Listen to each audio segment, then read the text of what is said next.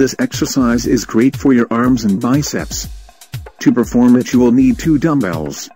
Stand straight up with feet shoulder width apart and legs straight. Place dumbbells in hands with palms facing in. Your arms should be close at your sides.